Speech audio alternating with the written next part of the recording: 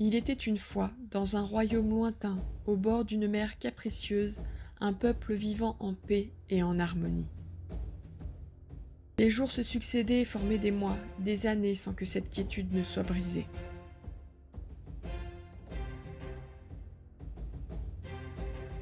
Puis vint le jour où le roi mourut. Bien qu'imparfait, ce roi était aimé et dirigeait le royaume sans heurte.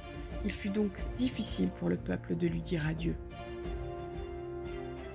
La stupeur remplaça bien vite la tristesse lorsque les dernières volontés du défunt furent délivrées au peuple entier. N'ayant pas de fils, le neveu du roi, brut et cruel, aurait dû se voir couronné. C'était sans compter la décision du défunt roi que de mettre sur le trône une de ses filles, faisant fi alors de la tradition.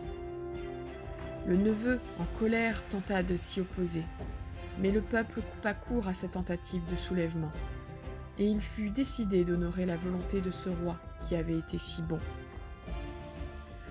Le roi n'ayant pas décidé laquelle de ses trois filles se hisserait sur le trône, les hauts fonctionnaires de la cour décidèrent de le tester lors d'un grand tournoi. Quatre épreuves les départageraient. La première serait l'épreuve des audacieux, la deuxième, l'épreuve des stratèges, la troisième, l'épreuve des alliés, et enfin la dernière épreuve, celle du grand final.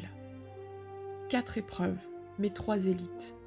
Les dragonniers, guerriers et guerrières vaillantes dirigés par la princesse Pauline, les guérisseurs, sages et respectés soutiens sans faille de la princesse Mégane, et enfin les mages, habiles et charmeurs, menés par la princesse Anaïs.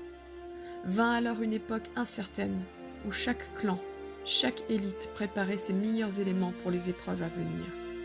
Et la première arrivait à grands pas. Il était temps pour les plus hardis de chaque camp de se préparer à la rencontre. Qui gagnera cette première épreuve? Qui se rapprochera un peu plus du trône et de la couronne? Qui rejoindrez-vous pour mener bataille lors de cette grande compétition? Tout dépendra de vous.